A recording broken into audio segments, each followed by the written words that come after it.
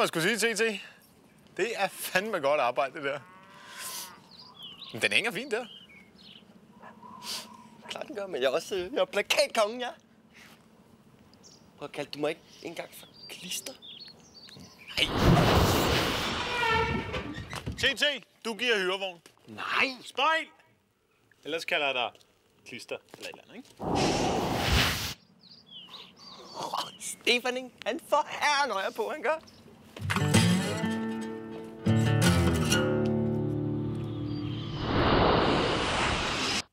Det er jo elgamle nyheder, det her.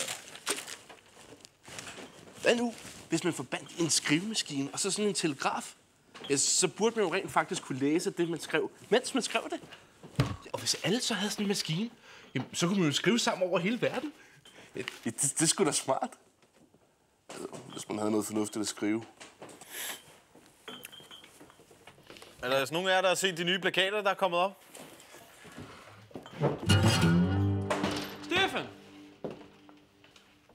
Du var arresteret. Fuck. Så er det nu, Stefan. Ellers så trækker jeg. Nå, Christiansen, er du begyndt at trække? Jeg tror sgu da ikke, du er begyndt at trække. Jeg tror, det gav meget godt sådan at være vice, sheriff. Så knytter du niller. Jeg ikke trækker på den måde, jeg mener vel. Jamen, du har jo ikke nogen pistol. Det har sheriffen. Jamen, han er ikke på afspassering. Det er han nemlig. Så nu er det mig, der er loven her. Og så når øh, sheriffen sådan trækker sig tilbage, har du så tænkt dig at gå efter stjernen, hvis du forstår? Ja, det gør jeg del med. Og så kommer der andre boller på hesten, det kan jeg love dig. Så går vi, Stefan. Kom. Dead man walking. Åh, oh, hvad er det lille der? Det er op, det foregår. Sådan. Hvad, hvad gør vi så nu? Vi trækker den lige lidt, ikke? Jeg troede ikke, at uh, du også var begyndt at trække. Stille. Helt stille nu, ikke?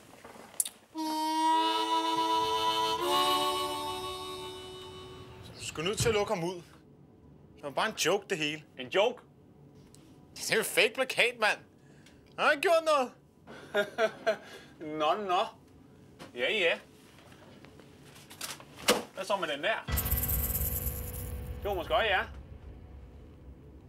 Ja, vi går jo lige igennem arkiverne, når der kommer en ny sag op, jo. Så finder jeg den her. Stetsy Svin. Efterlyst for mor. Det er en tre år gammel plakat, det her. Og det er kraftedeme Stefan. Hvad, men han, han er en fucking outlaw. Gud, nej, for satan. Christiansen, du, det, det vil jo ikke være Stefan. Du kender sgu da Stefan. Ja, men han har kun boet her i byen nogle år. Og hvor kommer han fra? Det ved vi da ikke. Vi ved bare, at han ikke drikker spiritus. Det er fandme ikke naturligt. Fuck, det er vildt, da. Stille TT. Christiansen, vi er nødt til at snakke med Stefan. Nej, Hvad? jamen det må man ikke. Det er dødsgangen, det her, Niller. Der er ingen, der snakker med Stefan, før han skal op og dingle. Åh, oh, hvad? Åh, oh, hvad? Nu er du kraftede med Christiansen. Du kan sgu da ikke hænge Stefan. Han har jo ikke gjort noget. Niller, han er en killer. Det er mit ansvar at få ham væk fra gagen. I aften klokken 18. Så er det bye bye, Stefan. Kan vi, kan vi ikke lige få det sidste ord med ham? Bare kort. For at sige farvel. I får 30 sekunder. Sprej benene, Niller. Fedt, I kom, drenge. Det er virkelig noget lort, det her. Ja, men klart der. Men, men prøv lige at høre, du skal ikke finde dig i noget, Stefan. Stefan, Stefan hvis de taber sæben, ikke, så snapper du. Fordi at du, skal, ja, du skal lære, hvem der er kælling og hvem der er sukker fra. Det er det, det handler om. Hvad? Vi skal nok få dig ud, Stefan. Så skal vi bare lige have Christiansen til at acceptere, at du ikke er ham der Stetsi svin. Mm, Det er jeg. Nej, Stefan, du knækker under stress, mand. Kom nu for fanden. Du er mere værd end det der. Du, du altså, skal stramme op, fordi det, du kan godt tage det, mand. Vi- Vi skal nok få dig ud, men... men prøv, så, så nødt til at... Og, så må du se ond ud. Eller bare se sådan her ud. Stefan, kom nu. Slap af! Så TT, så stopper det der lige nu. Helvede, TT. Okay. Okay. Det var før jeg mødte jer, ikke? Jeg var fuld.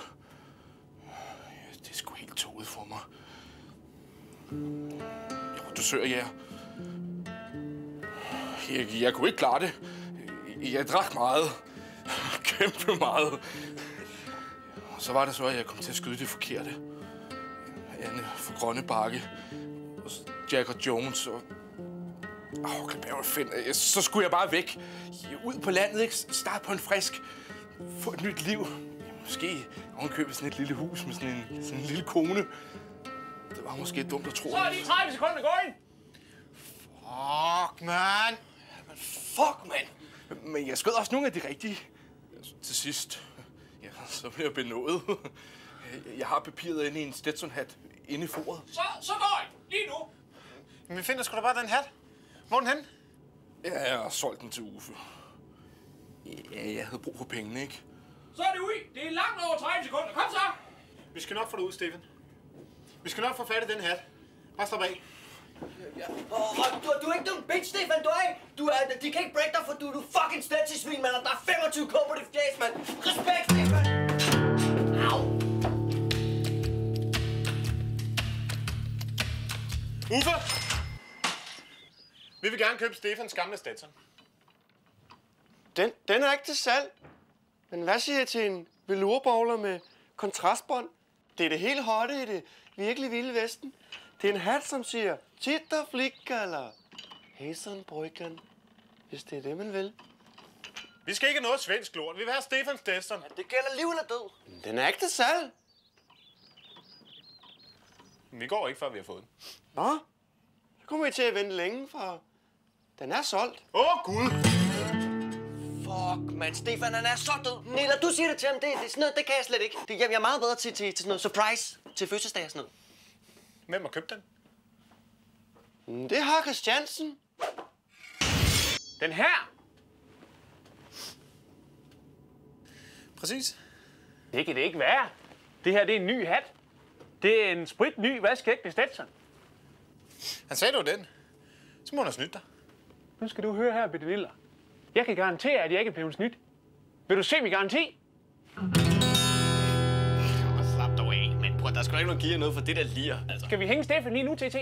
For det er ingen problem da. Nej, nej, nej. Prøv at slappe nu af, Der Christian. er respekt! Lige der! Du er måske bange for at finde noget derinde. For eksempel Stefans benådning. Eller finde ud af, at Uffe han har snydt dig alligevel. Jamen, det, det har han ikke. Nej, nej, nej. Men hvis det var mig, så ville jeg bare gerne være sikker. Altså, det er vel meget rart at vide, om Uffe han går og griner bag ens ryg, ikke? Det er en altid boks, du har købt.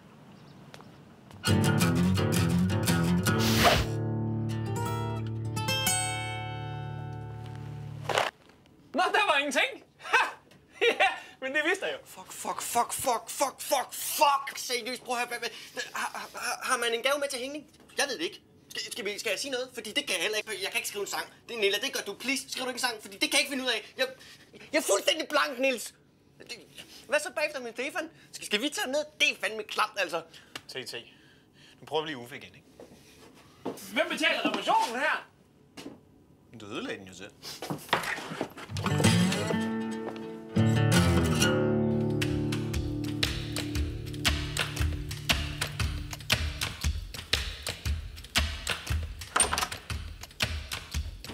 Uffe, har du set det i papir Stefan Stetson? Ikke sådan lige. Hvad er det for en hat? Det, det er så Stefan Stetson. Jeg havde en kopi, og den fik Christiansen. Han kan jo alligevel ikke se forskel, den bunderøv. Oh, det, det er sgu da herresnyd. Hvad man ikke ved, det har man ikke ondt af. Det her, det er jo ikke nogen serifhat. Det er jo en modehat for kendere, en rigtig hat til en rigtig mand. Men som jeg sagde før, så er den ikke til salg. Det er også lige meget. Må jeg ikke lige se den? Jo, Nils. Du kan jo se forskellen. En ægte Stetson, El Presidente. Prøv at se den finish. The hat of the West. Og ikke det lort, som Christiansen render rundt med på hovedet. Hvad fanden? Hvad laver du? Det er en udgave farve, det her. Han? Sådan der, mand. Så har vi benådningen. Hvad fanden er det for noget? Det her er Uffe. Det er en kopi. Jeg har betalt for en Stetson. Så kan jeg se, der står Sat, Satsan under foret. Ja. Det er jeg også lige blevet klar over. Det er meget beklageligt. Og det er vi nødt til at gøre noget ved. Du skal have en ægte Stetson. En ægte hat til en, en rigtig mand. Og Nils, han står der. Han står med din hat.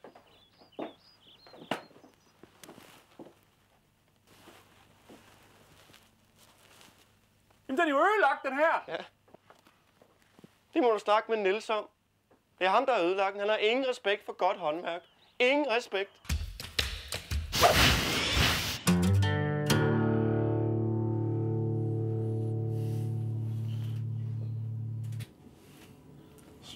Tak for hjælpen, drenge. Ja, Det var sgu pænt, det her. Det er langt over 30 sekunder, det der. Så kan I godt komme ud. Ellers så... Så trækker jeg. Fandme.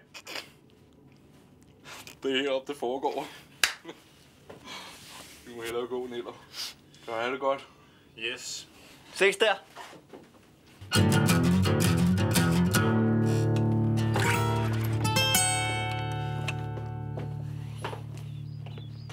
Hvis jeg ser flere sjove plakater ude i byen, så trækker jeg fandme den her gang.